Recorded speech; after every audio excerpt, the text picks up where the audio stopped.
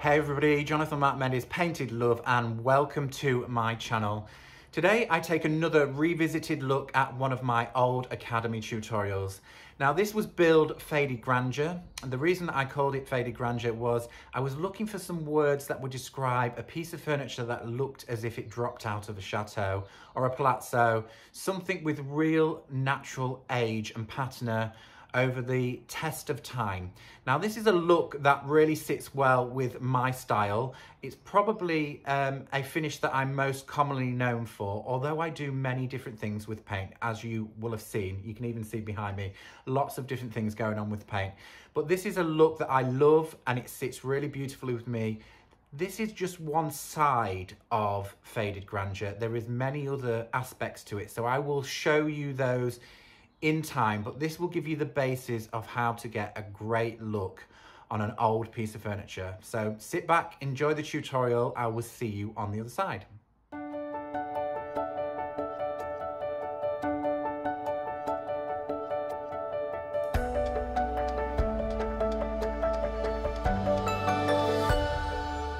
Where to start with your Faded Grandeur project Firstly, I would say choose a piece of furniture with great bones, kind of curvy, romantic in its shape. Now, today I am actually working on a beautiful old Victorian piece of furniture.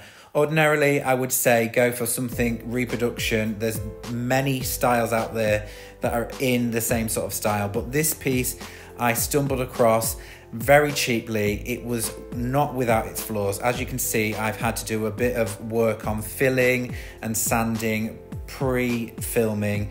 There was lots of veneer missing. It also had a section of woodworm, which I've treated, and plenty of bits of veneer um, off, which not all of them that I've fixed. I'm allowing them to speak freely with the paint. Also, I'm taking note pre-painting of the natural fadage of all of the different timbers on this piece of furniture. I'm using it kind of inspiration. The inset panels of veneer are much darker than the actual mahogany wood around the edges which I do like, but I think I'm going to reverse that around and make the outside edges darker and the internal panels a little bit lighter.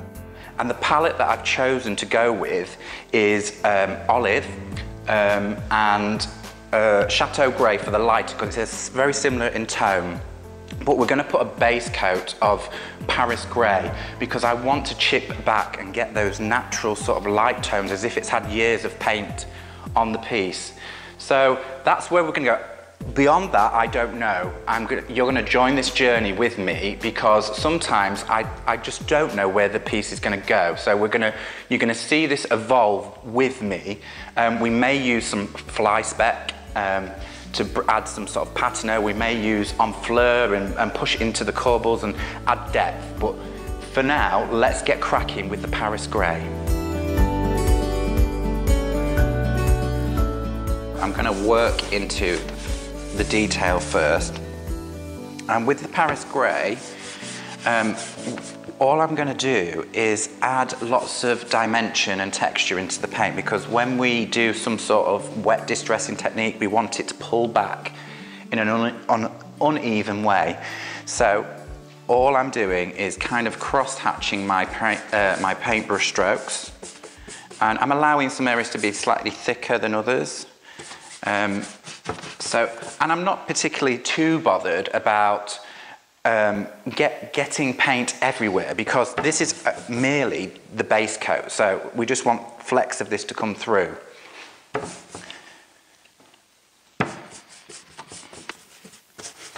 And it is always very sad to see such a beautiful piece of wood vanish under paint, but we're going to make it so beautiful that you'll forget about the wood and you'll enjoy the paint.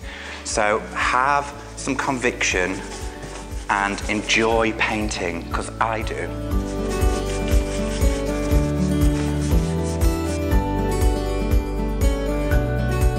Here we have it. The Paris Grey looks amazing, which I thought it would, but that's not where we stop. We're gonna move forward and add lots of patina to this.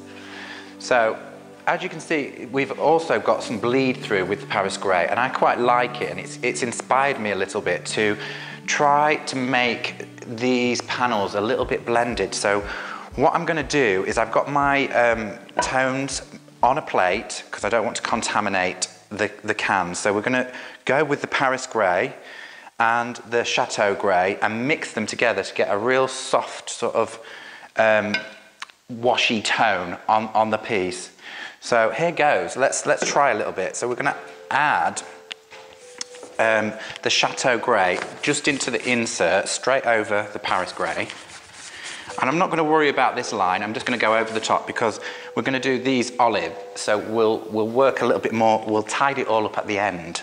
So just get some paint into these areas, which is lovely. I love this colour. Again, any what way, just make sure you get into those detailed edges. So now I'm going to pick up a little bit of Paris grey and just add a bit of Paris grey to get sort of some tone. So it's like cloud-like. Whilst the, whilst the paint's still wet, we're adding another colour, so we're getting a mixture of tone. So it's soft. I'm not going to do everywhere, just a few little patches here and there. And I quite like that. It's a little bit tone on tone, and it's good. I feel comfortable with that. And then we'll add the, the darker olive. We're gonna repeat the process. I'm gonna carry on this area. So I've decided lighter, lighter, darker, darker, darker, darker. The same on the other side. Lighter, lighter, darker, darker around the frames. So I'll carry on with the process and then when we hit the olive, we'll have another look at how I'm going to work around that part. I'm going to do the same thing again, but I'm not going to worry too much about making it an exact copy of the other side because I want this to be, again, organic. Um, and it, it needs to be slightly different. So we will do it a little bit different. We'll just allow the paint to do what it needs to do. Um, so we're going to add this quick. Beauty is because we've already got Paris grey underneath, I don't have to worry too much how perfect it is. So I'm quite happy with that as a tone. It feels good to me. And we're going to carry along the top, as we said. We're going to work all the way around this top perimeter, and then we're going to go back in with the olive. And I think what we might do with the olive, we'll add a little bit of the chateau to the olive to uh, lighten the olive up with the chateau. So that's where I'm aiming. Um, keep on watching the process, and then you'll see how it comes to life. I'm super pleased with the blending, so now we're gonna go for the olive. And I did think I might blend some colors into the olive as well, but for, for the time being, just to make life a lot easier, I'm going to paint out all of the remainder just with a flat coat of olive and then work out. I'm not too sure whether I will blend it, but it will, it'll come to me as I'm going. I'm pretty sure that we might wet distress the edges to bring back some of the Paris grey and we won't distress too much internal of these panels because they'd be the pieces of the furniture that would be least worn. It'd always be round the edges. So that's why I'm thinking a bit of wet distress, chippy, break back down to the wood. So here goes, let's get some olive on. And what I'm gonna do is work up to um, the line of this door. And we're just gonna work around very neatly. Well, I say neatly, you can go over the edge. I'm not going to worry about that because when we distress, it's going to come, come back to wood. So you can see I'm not really particularly worrying about going over the edge. The colours are very close in tone. Um, that's why I've gone for these colours, so you get in a build-up of, of layers and patterns remember how, it, how the piece started. It had patina, so we, we're probably going to put dark wax or maybe even a wash of Honfleur into the corbels to add real depth inside there. So we're going to literally, we'll paint some of this corbel and you can see. Also this strip, I'm going to take my time and go over the edge of this strip and the top in olive. So as you can see, I'll work through this progress and I'll stop and you'll be able to see when I've got the next coat on. I'm loving the color combination. It's working really well. So let's talk about this fine edge. This fine edge I'm having to cut, cut in against my other color. So I'm using an artist brush. Now this artist brush has got a slight bevel, a beveled edge on it. it. It kind of shaped like that. And I find this really easy for cutting in. So you can push your brush up against the line. So let's give it a go, a little bit here. And I'm just literally loading my brush up and pushing it into the, the groove and just taking. Now, if you want this to be run smoother, you may need to um, just spritz it with a little bit of water to loosen your paint. It, it, will, it will flow much easier, but I'm going straight from the can on, onto this plate, which is thickened up quite a lot, but I don't mind that because I'm quite used to the paint. Um, I like my paint to go slightly thicker, um, and so I'm just literally pushing into that edge neat enough. I'm going to do the same on the top and paint the top. It requires a steady hand and a good eye, but it's well worth the effort. Sometimes these smaller details just make the biggest of difference. So never worry too much about the connection between the two. The two colours are very close, but we may apply some dark wax into this groove, so that will hide your wobbly line if you're not so neat.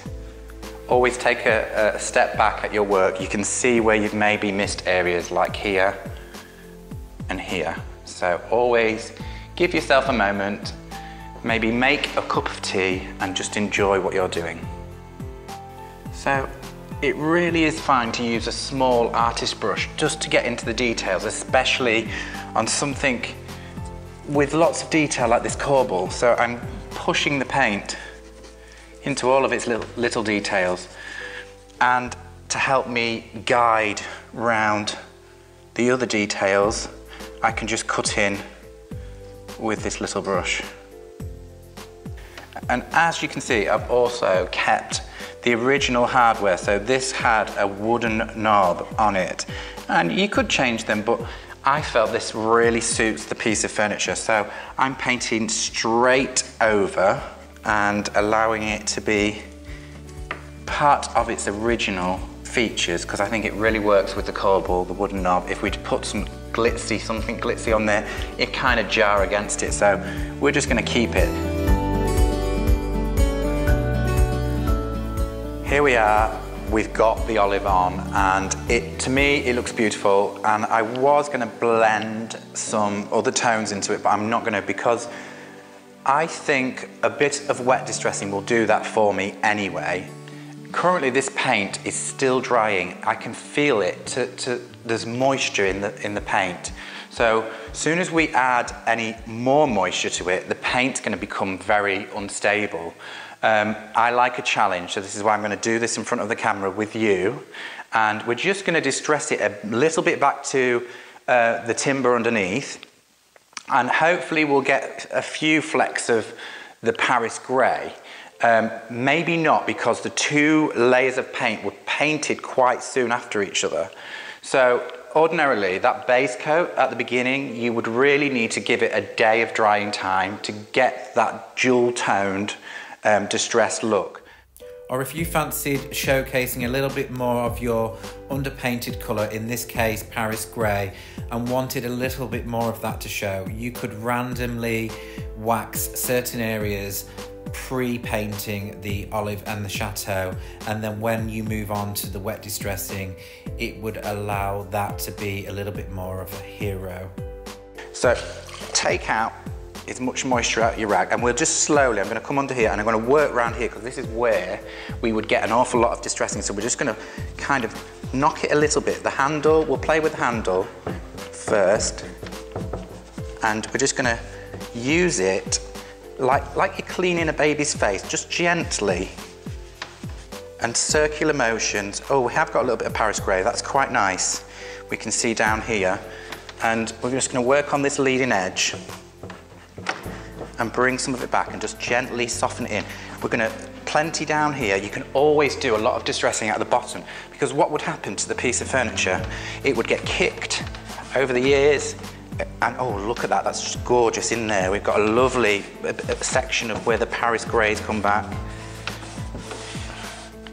So on any raised area we're gonna go for, there we go, look, beautiful. So basically, it will distress it, it'll, the paint will find the thicknesses where we added it thick and thin, it will find its own distressing level.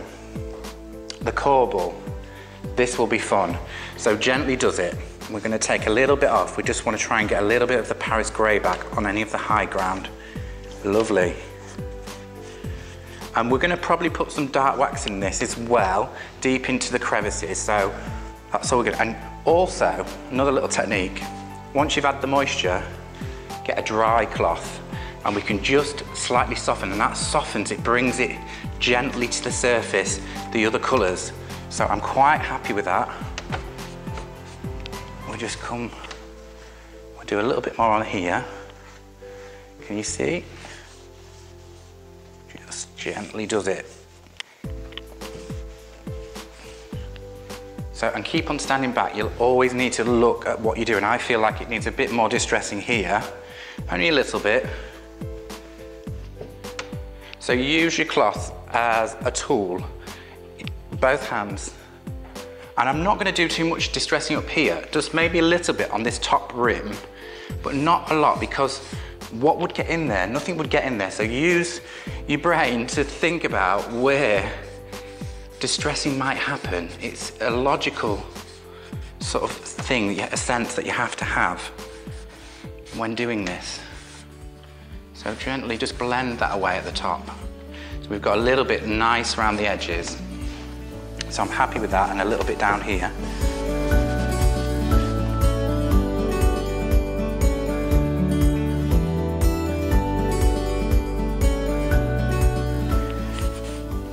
I'm nearly at the final stage of my distressing part and I'm super thrilled with how it's come out. It's, it's coming off perfectly. Um, but what I do want to show you is I'm going to purposely make a, a mistake in the piece, what I will see as a mistake. So I'm going to really take away maybe an area that's too much and you just think, oh no, that just is just far too much distressing. If you make that mistake, and I have done it in other areas, you can kind of pick up your base colour, a little bit of paint on it, and we can kind of just soften it out a little bit and blend it away until you get a little, let me move these out of the way so you can see. So you can see, see there, I've just kind of softened it out and allowed it, because the paint's still wet, so we're adding wet on wet. Just make sure you don't go back in that area, because look, it does come straight off. So if you don't like something, just pick up a tiny little bit of paint. There's moisture in there, so we don't want to add too much moisture, but just kind of feather it out. So, like that. And you can always, if you kind of think, oh, I want a bit more distress, let it dry and then come back to it. So that's a little cheat for when you feel like you might have gone too far with something. Um, but I do like a bit of heavy distressing on the corners because that's where it would naturally get its own wear and tear. So, and obviously all along the edges of doors and handles, we're putting the moisture back in. We'll go over the corbel. So, rubbing away on the corbel, you can, these are beautiful because they've got a soft curve to them. So you're really getting to see some of the Paris ground there. It's beautiful. Um, a little bit along this trim as well, I think. Not, not too much up here again, just maybe a little bit in the corners. I've got a chipped bit of veneer there, so I might make something of that piece. Um, and back down the other side. And we've got another little trick for these center panels, which you're gonna see in the next part of the tutorial once this is all complete.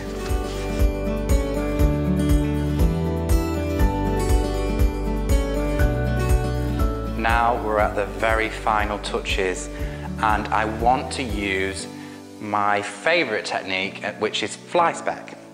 Um, and how we're going to do this, we're going to mix up a colour because I don't want the colour to be too dark and I don't want it to be too light. So I've decided to go with a mix of what we've already been using. We're going to use a little bit of olive, not much. So we're going to add a little bit of olive to the bowl. And to darken it up, we're to, I'm to use graphite. So we're looking for a muddy colour. Um, and this should be a little bit more graphite. Mixed in about, oh, and I need to talk about the brush. Fly speck brush. This is a cheap artist br brush. The bristles are quite um, strong and bristly.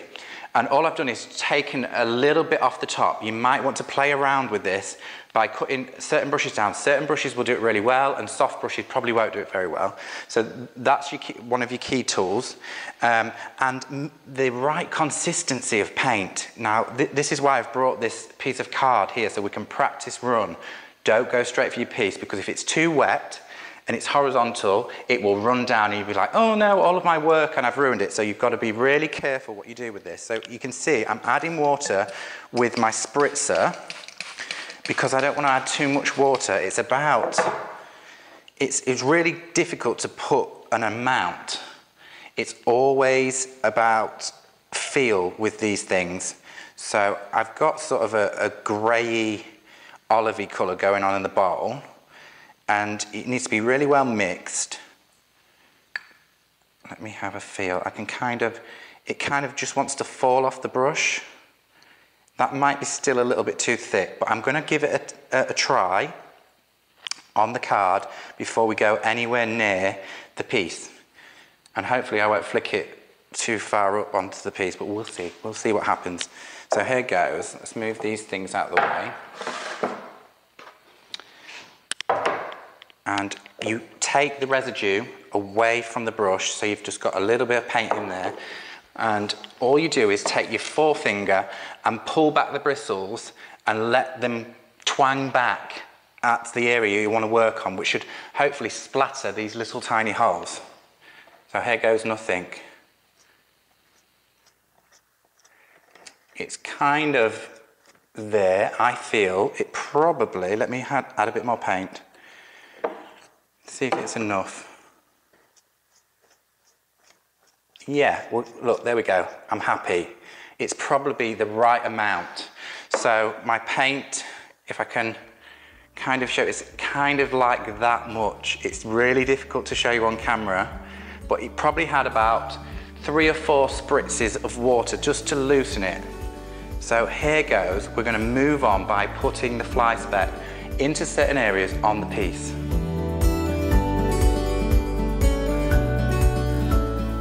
Before you start flicking your fly speck over your piece, what I would ask you to do really is to stand back and think about this really logically. You don't want the whole piece to be covered in this. And a good indication of where it might look good to use this is where we've got more distressing marks. So I would probably just do this corner down here and maybe a little bit up here and a, a little bit there and maybe a small fraction here, but leave large areas that are free of it. And the best thing for you to do is go round the back of the piece to start till you get the feel of how this, this works. So I'm going to start deep in here and work to my front area because I, don't, I want to make my mistakes where they won't be seen. Or if you're very nervous about adding your fly speck over your paint finish that you've created, you could wax the whole piece with clear wax at this stage, allowing you freedom to remove any of the fly speck by wiping away with a damp cloth. Once all is dried, you can then give the whole piece another quick clear coat of wax, allowing the fly speck to be sealed in on the piece. Now, fly speck to me is it imitates sort of woodworm holes. So I'm kind of, that's why I'm imitating sort of the, in random patches because it would never be over the whole piece. It's just in separate areas. So this is why we're going to make it a little bit random in its pattern. I'm going to probably go up here and around here. So I'm getting brave at this point. We're going to allow it to come across that corbel. And I'm happy with that. Also, you may find if you're a glasses wearer like me, you'll get some back spray, which you might want to clear the, the paint from your glasses before you move on. Um, and look, it's flicked up there. I'm quite happy with that, just a small amount. I'm going to make it heavier down here. You'll notice it shows more over the paler areas, it's all about angling your brush the right way. Occasionally, you'll get one of these fly specks that looks a little bit like a flying saucer and it's elongated in its shape. And if you don't like it, what you can do is very carefully just take a bit of cloth, um, spritz it, and literally just dab it onto the mark, lift it a little bit, and then kind of pat it around. And what, what you'll do is you'll make erase it, but you need to pat around the edges. And especially on this, it's got lots of different tones, so it's going to disguise it really well. There's probably, there was one there that I wasn't very keen on. There's one up here. So again, I'm just going to clean part of the cloth where it's a bit, a bit of moisture in it. Just dab, move the cloth, and then you can kind of slightly rub, but very gently, and then dab around it because what you'll do is you'll remove some of the tone around it. So you have to be really careful not to take too much out. There's another one there that looks a little bit rogue, so we're going to take that one out. And a bit more moisture. So dab it around.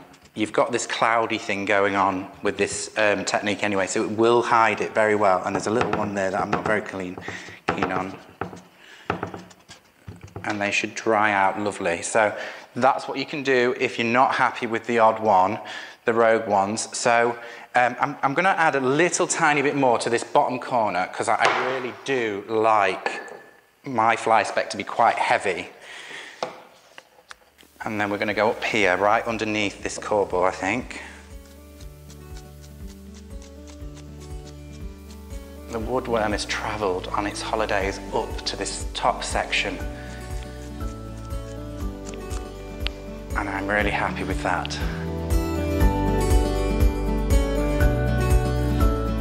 Here we go. I'm super pleased. I could not tell you how happy I am with the outcome of this. So all that's left to do is add a little bit of dimension using dark wax, but first, of course, we have to use clear wax. So the whole piece is going to be covered with clear wax in preparation to just add a little dimension of dark wax into any of the details, including these beautiful corbels, to really bring this piece to life. So let's go for it. Um, we're just going to add a small amount of wax. I'm cross-hatching with the wax brush. Um, and I'm also using the, the brush, Annie's brushes are pointed, so rather than going straight in flat and doing this, you really want to be going up and down, up and down, because you want to keep that point on the brush. You don't want to wear the bristles away. So it's really nice to kind of do long movements with the brush, back and forth, back and forth, like that, rather than um, going because you're going to wear that brush away quicker and that point is there for a reason. Hence the corbels. You can push wax into details when you need to with the point. So that helps, that point helps gets into all of those lovely details.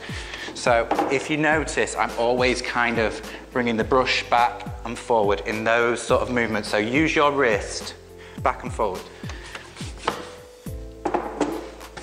And what you can also see is the colours. When the wax hits the colours, it really comes to life.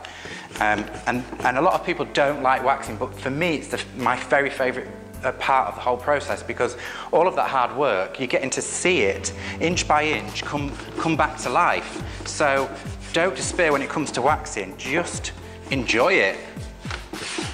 So that's that panel done, and all I'm going to do is uh, uh, take a lint-free cloth just to take off any excess. And that's all you really need to do with the waxing. And once we've covered the whole piece, we will go to adding the dark wax.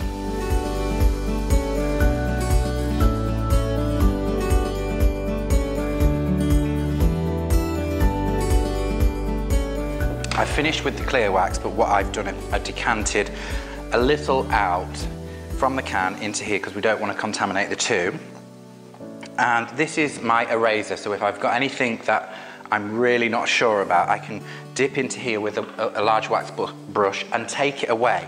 So first things first, I've got a variety of brushes that I like to wax with when I'm just doing detailed work. So small artistry brushes, maybe even your, um, if you've got one, a stencil brush can be quite useful.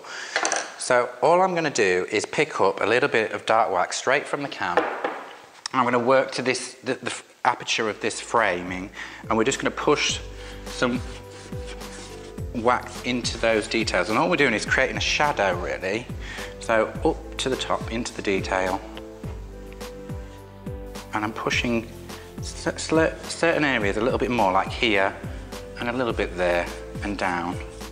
So, and then if I want to kind of soften it out, I'm taking my wax brush with a bit of clear wax on. I'm just gonna go in a, circular motion around that area and soften it out. Use the cloth and you can just slightly soften that in and erase it in. So you're adding sort of,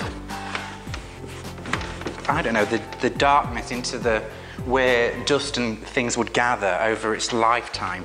And it also gives it that dimension. So just slowly work round. I'm going to move to the corbel because this is an interesting area. All of these sort of crevices we want to fill with the dark wax. So I can be a little bit heavier about this underneath there and it will pop and come to life. So don't be frightened of the dark wax. Apply it into all of the detailed areas. With your small brush, along these edges as well, because it would all gather in there and it would probably sit on that, that little lip. Just take your time over it. And it would maybe gather underneath at the top. So gonna allow it to be there. Really, all you have to do is make sure you get it into the crevices, really. So yeah, it might look a little bit messy, but we're gonna pick up some clear again and just go over it, just to soften. And that'll give you the freedom to take away anything that you, you're not keen on. So if you bring that off. And you don't want to rub right into the crevices again, you want to leave it there. So that's, you're just taking off the high ground and leaving into the low ground.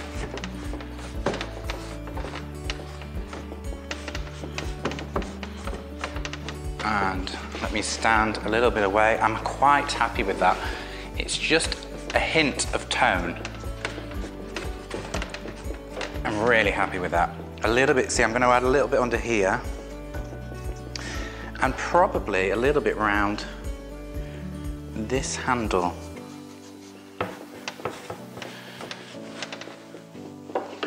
We'll carry on down into that corner.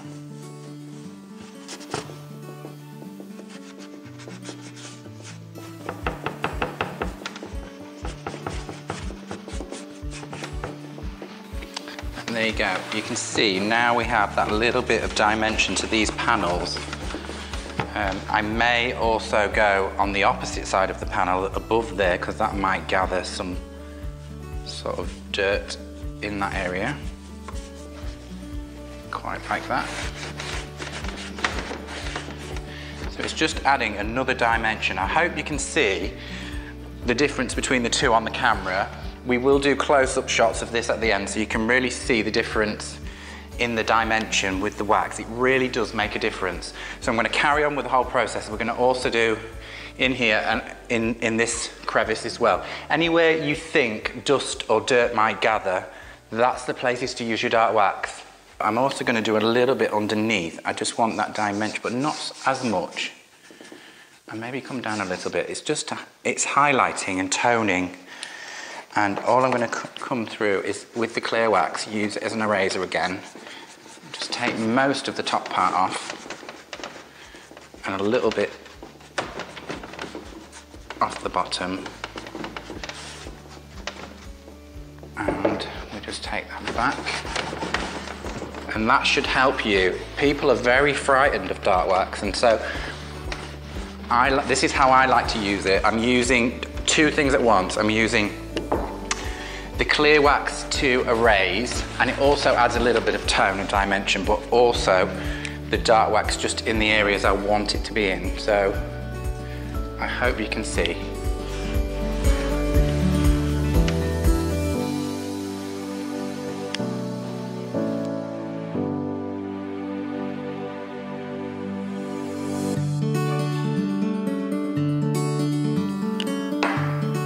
Always remember, erase your dark wax with some clear wax. Never be afraid of dark wax.